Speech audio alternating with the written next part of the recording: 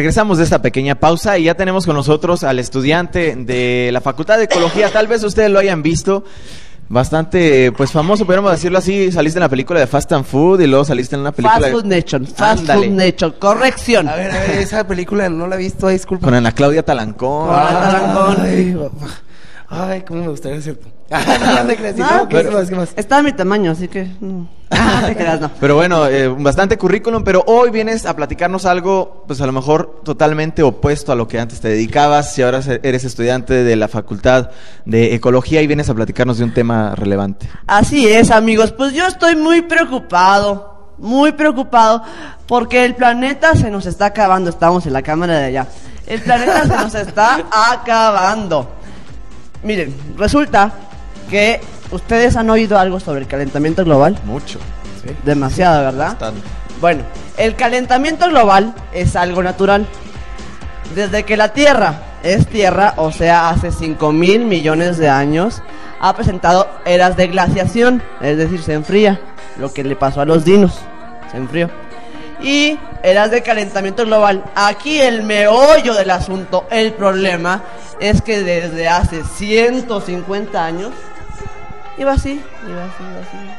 150 años, Ay, canijo. hasta arriba. No, pues sí. Es más, hasta más arriba, hasta más arriba de mi altura, ribototota. ¿Se calentó la tierra? No, no, no, sin albur, sin albur, compañero, sin albur. A ver, Humberto. Bueno, resulta que, ¿qué pasó hace 150 años? La llamada revolución industrial. Tres cosas. No, ese fue hace 100 años la revolución. No, En el año de 1851, la reina Victoria en Inglaterra. Descubrieron el carbono, descubrieron el acero y más tarde el petróleo. Y esos tres combustibles fósiles echaron a perder todo. Todo, todo, todo. Todo se acelera. Tan es así que la- Estados Unidos es un país que gasta 20 veces más que nosotros. 20 veces más. En esos tres Eh, elementos. Ajá, 20 veces más. O sea, que Estados Unidos no tiene una cultura ambiental con respecto de ellos. Miren, la ONU les dijo a los estadounidenses, señores gringos, si no bajamos las emisiones en un 70%, el calentamiento global va a aumentar únicamente un, un grado, un, punto un grado, perdón, punto un grado, corrección, cada 10 años. Y eso es algo devastador de todas maneras. Punto un grado y tenemos que bajar las emisiones al 70%. ¿Te animas a bajarla a punto un grado? Bajando las emisiones al 70%. Y hicieron el protocolo de Kioto, de Kioto, perdón, protocolo de Kioto. Y el protocolo de Kioto establece que quieren eh, bajar las emisiones a solo 5%, 5% de emisiones de, de- de dióxido de carbono, de combustibles fósiles. Pero Estados Unidos no lo aceptó. O sea, de 70% que les pedían, le bajaron a 5 y aún así Estados Unidos no acepta bajar las emisiones a un solo 5%. ¿Qué les pasa, señores? Este Humberto se me Vélez olvidó, se, guardando, se me güey. hace que es, es pariente de César Luis Ibarra. seguro. Un saludo Bueno. para él. Pero bueno, platícanos más de, de esto, de esta información tan sustanciosa, si se puede decir así, que nos estás Eh, es que cultivando eh, es que es, es demasiado es demasiado lo que lo que tenemos que hacer qué podemos hacer nosotros para bajar esas emisiones de dióxido de carbono de monóxido de carbono de CFCs cloruro, cloruro de fluorocarbonos que contienen los plásticos claro. eh, eh, la quema de biomasa los aviones ajá y los eh, jets los cohetes qué podemos hacer Ya no hay que usarlos tanto, Alex, ¿ves? Ya no hay Ya, que usar ya. tanto el avión. Porque... de- miren, primero que nada, sustituir los plásticos por los vasos de cartón o platos de cartón. Sí los hay, sí los hay. Y si no los fabricamos, pues últimamente. ¿Verdad? Eh, A ver, a ver, Humberto Lo- para presidente, ya en el 2012. eh, sí. Porque esos, esos, bueno, de todas maneras es papel, se contamina. Pero eh, el, cloruro, el cloruro de fluorocarbono es un gas del efecto invernadero que no se destruye. Siempre va a estar y, a- y ataca directamente a la capa de ozono. O sea, la, eh, se empieza a romper. Y ahorita ya hay hoyos en Australia, en Nueva Zelanda, en China. Ya la capa de ozono ya parece toalla de, de las de ferro, o sea, de pobre. Ah, no te creas. no.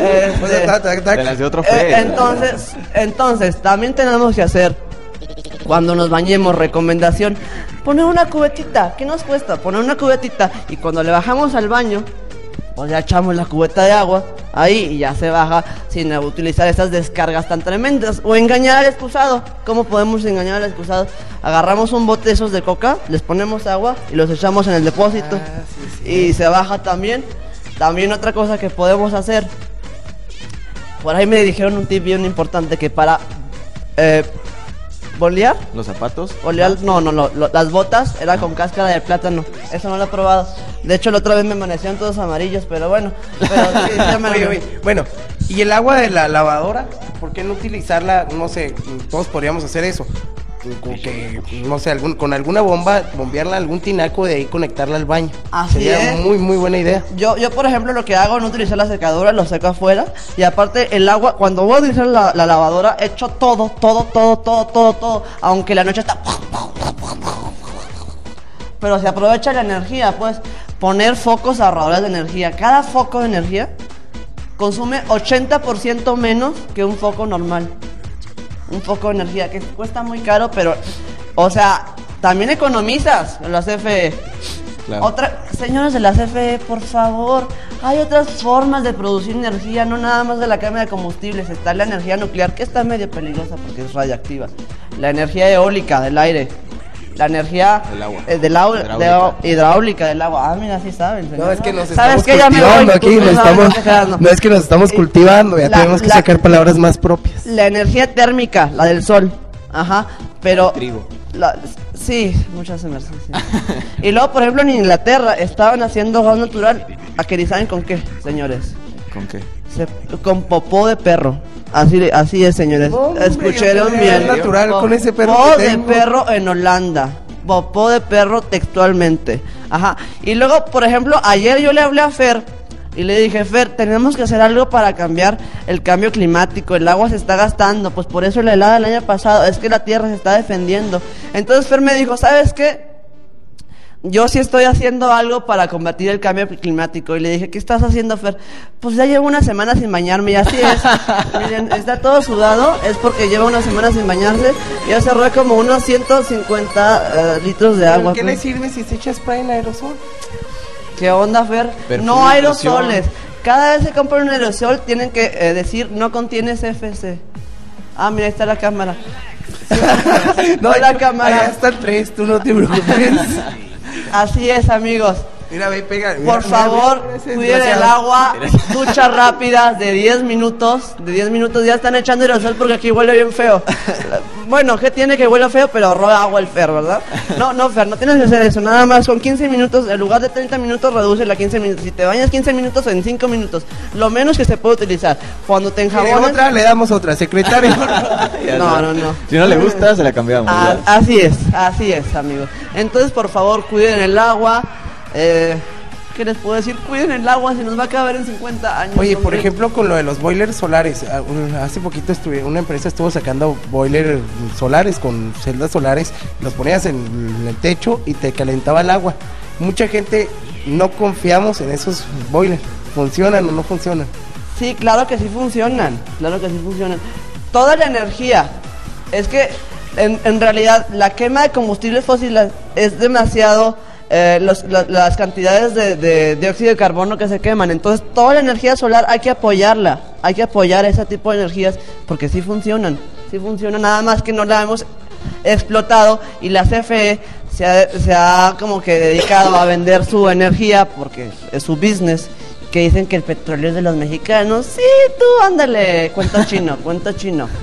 Es nada más pa En la opinión de. en la opinión de Humberto, Humberto Vélez. de verdad muchas gracias por venir a platicarnos de esto, estudiante de la Facultad de Ecología. Sé que tus compañeros también están igual de preocupados y muchos otros que no están igual estudiando en esta facultad o esta carrera. También tenemos el cosquilleo por cuidar nuestro planeta porque, bueno, el fin de semana que nos quedamos sin agua y nos quedamos sin luz, ya nos estamos muriendo, sinceramente. No, no, exageradamente, No, no, decir muriendo, no, pero... La gente está volviendo loca. sí, sí, imagínense, si eso pasa por siete días, imagínense en unos 50 años que ya nos quede agua, que ya no nos quede agua, ¿cómo vamos a vivir, señores? ¿Cómo vamos a vivir? Ah, El agua es vida.